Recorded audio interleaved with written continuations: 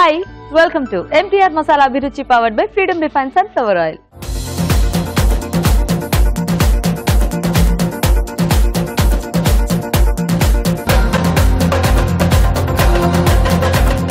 మరి మన next segment మీ చేతి వంట.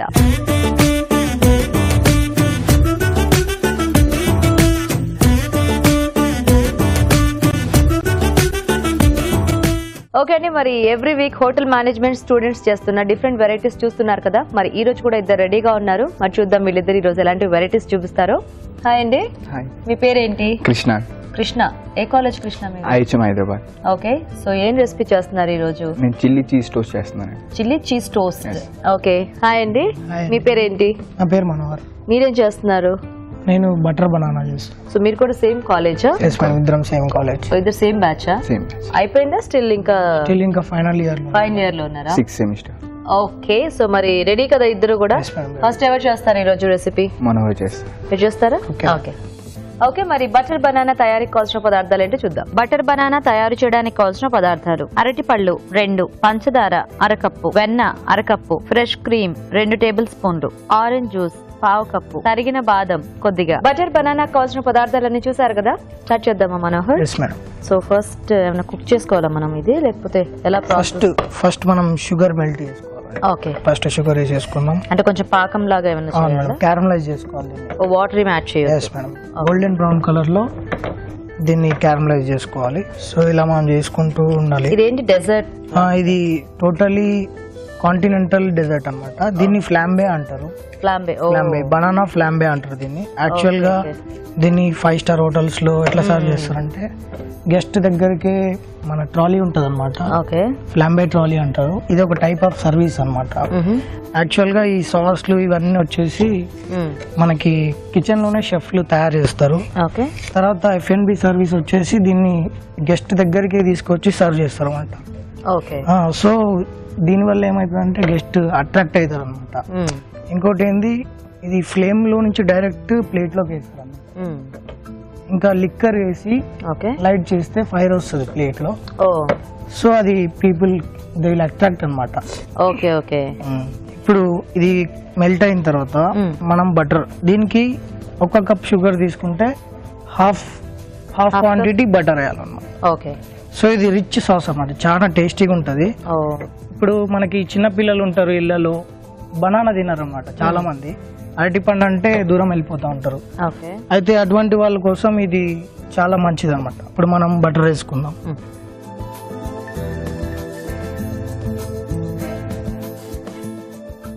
ఇది కాలేజ్లో నేర్పించిన రెసిపీ అయినా మీకు? అవును madam. Oh nice. So continental దీంట్లో ఇది డెజర్ట్స్లో ఇది వస్తుంది అనమాట ఎస్ మేడం సో ఇలా మనం దీన్ని సాస్ లాగా తయారు చేసుకోవాలి. ఓకే. అలాగే మనం క్రీమ్ యాడ్ చేసుకుందాం. So fresh cream. Cream add చేయడం వల్ల మనకి ఇంకా రిచ్నెస్ వస్తుంది అనమాట ఓకే.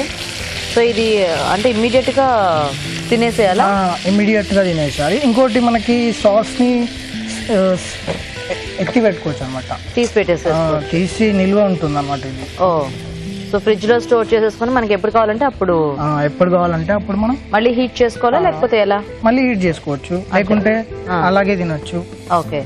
ఒకవేళ మనం తీసి పెట్టుకోవాలనుకుంటే దీన్ని కొంచెం వాటర్ ఎక్కువ వేసుకొని కుక్ చేసుకోవాలి. సో ఇది ఈ ఆరెంజ్ జ్యూస్ అనమాట ఈ ఆరెంజ్ జ్యూస్ వేయడం వల్ల కొంచెం ఆరెంజ్ ఫ్లేవర్ తగులుతుంది. సో ఇలా మనకి లంప్స్ కడతా ఉంటుంది మధ్య మధ్యలో. ఇలా. ఉండలు కడతా ఉంటుంది. ఏం కాదు.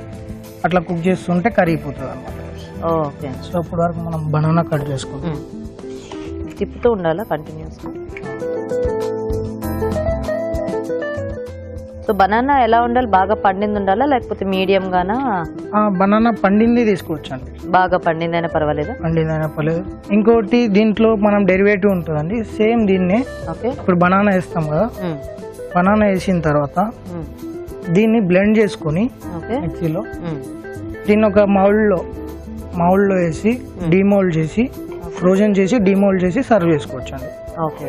అది ఎట్లా సర్వ్ చేయాలంటే మనకి ఇష్టం వచ్చిన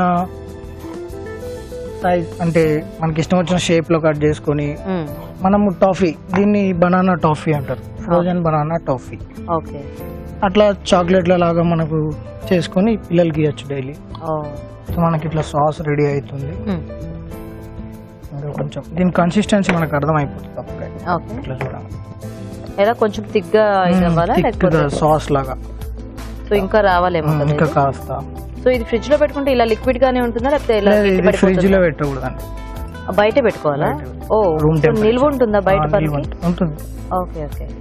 షుగర్ వచ్చేసి స్టార్టింగ్ థ్రెడ్ పాకం లాంటివి అట్లా స్టేజెస్ అన్నమాట. ఇది లాస్ట్ బట్ వన్ స్టేజ్ అనమాట దీని లాస్ట్ స్టేజ్ వచ్చేసి బ్లాక్ జాగ్ అంటారు. Okay okay. అది కలరింగ్ ఏజెంట్గా యూజ్ అవుతుంది. ఓకే. ఇప్పుడు మనం బనానాస్ యాడ్ చేసుకుందాం. ఓకే. ఇప్పుడు ఈ బనానాస్ని లైట్గా కుక్ చేసుకుందాం దీంట్లో దీంట్లో ఆరెంజెస్ వేసుకోవచ్చు. సో ఎనీ ఫ్రూట్ యాడ్ చేసుకోవచ్చు మన చాయిస్ సో ఎంతసేపు కుక్ అవ్వాలి ఈ సాస్లో? ఫ్రూట్స్? జస్ట్ ఒక three to four minutes hotel management చేయాలని ఇంట్రెస్ట్ ఉన్న వాళ్ళు ఉంటారు. అయితే వాళ్ళకి ఇప్పుడు అడ్మిషన్స్ ఛాన్స్ ఉందండి. ఎవరైతే ఇంటర్మీడియట్ చదువుతున్నారో ఓకే. వారికి ఇప్పుడు ఛాన్స్ ఉంది. ఎంట్రన్స్ ఎగ్జామ్ రాయడానికి. ఈ కాలేజ్లో చాలా రకాల కోర్సులు ఉన్నాయి. అయితే ఎయిత్ క్లాస్ బేస్ మీద టెన్త్ క్లాస్ బేస్ మీద ఇంటర్ బేస్ మీద Okay. డిగ్రీ బేస్ మీద అయితే డిగ్రీ బేస్ మీద దీంట్లో పీజీ కోర్స్ ఉందండి. PG in accommodation and hotel management అయితే ఇంటర్ బేస్ మీద మనకి ఒక ఎంట్రన్స్ ఎగ్జామ్ ఉంటుందండి. జేఈడ్ ఫర్ హోటల్ మేనేజ్మెంట్ అని. ఈ ఎగ్జామ్లో క్వాలిఫై అయిన వాళ్ళకి ఇట్లా సీట్ సీట్ వస్తుంది అదే కౌన్సిలింగ్ ద్వారా సీట్ వస్తుంది ఓకే ఓకే అండి మనం? మనకి ఇది అయిపోయింది దీన్ని ఇప్పుడు మనం ప్రజెంటేషన్ చేసుకుందాం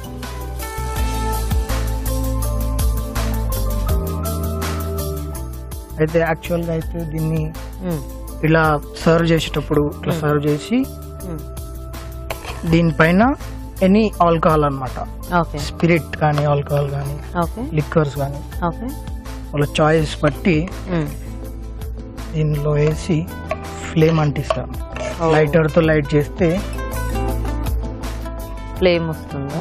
ఇలా లైట్ లైటర్తో ఫ్లేమ్ అంటించి ఇలా సర్వ్ చేస్తే అది చాలా బ్యూటిఫుల్గా ఉంటుంది. చూడ్డానికి. అందరికి సో మనం దీన్ని గార్నిష్ చేసుకుందాం లైట్గా చెరీస్ కానీ డ్రై ఫ్రూట్స్ కానీ మన ఇష్టం మన చాయిస్ సో మనకి ఇది రెడీ అయిపోయింది. బటర్ బనానా నైస్ ఓకే మరి బటర్ బనానా రెడీ అండి. టేస్ట్ చూసే ముందు తయారీ విధానం ఇంకోసారి చూద్దాం. బటర్ బనానా తయారు చేసే విధానం. ఒక పాన్లో పంచదార వేసి కరగనివ్వాలి. దీనిలో వెన్న ఫ్రెష్ క్రీమ్ వేసి బాగా కలుపుకొని దగ్గర పడినివ్వాలి తర్వాత ఆరెంజ్ జ్యూస్ వేసి కాస్త మరగనివ్వాలి. ఆ తర్వాత అరటిపళ్ళు వేసి ఉడకనివ్వాలి. ఆపై తరిగిన బాదంతో గార్నిష్ చేసి సర్వ్ చేసుకుంటే బటర్ బనానా రెడీ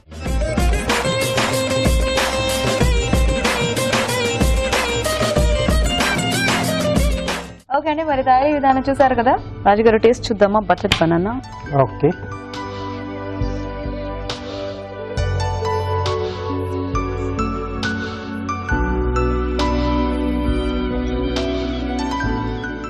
చాలా బాగుంది. సూపర్. బట్ మెయిన్ ఏంటంటే ఆ టెంపరేచర్ అనేది బ్యాలెన్స్ చేస్తూ. చేస్తేనే ఈ డిష్ అనేది బాగుంటుంది కొంచెం అటు ఇటుగా అయినా తను చెప్పినట్టు ఫుల్ లూజ్ గానే అవుతుంది. లేకపోతే ఇలా కొంచెం చల్లగా అయిన తర్వాత సెట్ అయిపోతుంది అది. ఓకే ఇది అలాగే ఉంది కదా? సో కొంచెం ఆ డ్రాపింగ్ కన్సిస్టెన్సీ Ah. ఉంటే బాగుంటుంది. తినేటప్పుడు కూడా చాలా బాగుంది కానీ సాస్ అది చాలా టేస్టీగా ఉంది. చాలా టేస్ట్ వచ్చింది. టూ గుడ్ సో చూసారు కదండి చాలా టేస్టీగా ఉంది బటర్ బనానా సో ఖచ్చితంగా ట్రై చేయాల్సిన రెసిపీ నోట్ చేసుకొని మీరు కూడా ట్రై చేసి చూడండి. ఇప్పుడు ఒక చిట్కా చూద్దాం.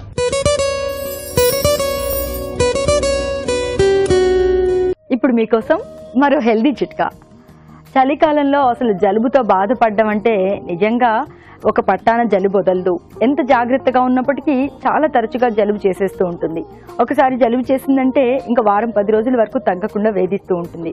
ఇలా ముక్కు బాగా పట్టేసి గాలి పీల్చుకోవడానికి ఇబ్బందిగా ఉన్నప్పుడు ఒక గ్లాసుడు గోరువెచ్చటి పాలలో రెండు మూడు వెల్లుల్లి రెబ్బల్ని చిదిమేసి వేసుకుని రాత్రి పడుకోబోయే ముందు తాగుతూ ఉండాలి. ఇలా రెండు మూడు రోజులు చేసినట్లయితే జలుబు నుంచి చాలా త్వరగా ఉపశమనం దొరుకుతుంది.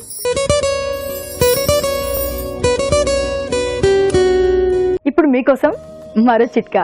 కొంతమంది తిన్న ఆహారం మాకు వంట పట్టట్లేదు అసలు రోజు ఫ్రూట్స్ తీసుకుంటున్నాం మంచి ఆహార పదార్థాలు తీసుకుంటున్నాం ప్రోటీన్ ఉన్న ఫుడ్ తీసుకుంటున్నాం. అయినా కూడా జుట్టు రాలిపోతోంది చర్మం అంతా ఎండిపోయినట్లుగా కనిపిస్తోంది. శరీరానికి పోషకాలు అందట్లేదు ఏం చేయాలి అని అడుగుతూ ఉంటారు. ఇలాంటి వారి చిట్కా ఫాలో అవ్వండి. ప్రతిరోజు ఉదయాన్నే ఒక స్పూన్ త్రిఫలా చూర్ణాన్ని పరగడుపును తీసుకుంటూ ఉన్నట్లయితే తిన్న పోషకాలన్నీ కూడా శరీరానికి బాగా వంటపడతాయి. ఆరోగ్యం కూడా కాస్త కుదుట పడుతుంది. అలాగే జుట్టు ఊడడం చర్మం పాలిపోయినట్లు అవడం ఇవన్నీ కూడా తగ్గుతాయి.